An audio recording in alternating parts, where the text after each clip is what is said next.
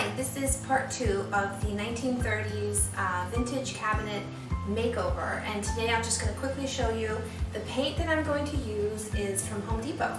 It's Behr Chalk Decorative Paint and it's their deep base number 7130. You can just buy this on the shelf and I had them tint it in the Behr color Shasta Lake which is a nice deep kind of moody blue.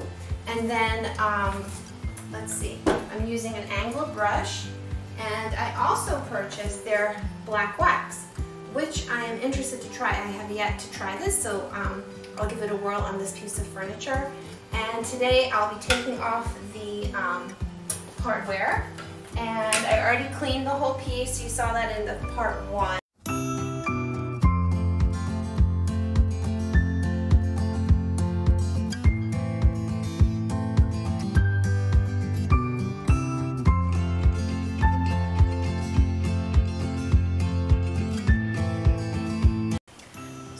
Comes to painting detail um, on vintage pieces, you have a choice. You can either fill it all in and come back later with um, a glaze or a dark wax or even um, distress it to show it off, or you can, from the very beginning, kind of just lightly feather over it like so.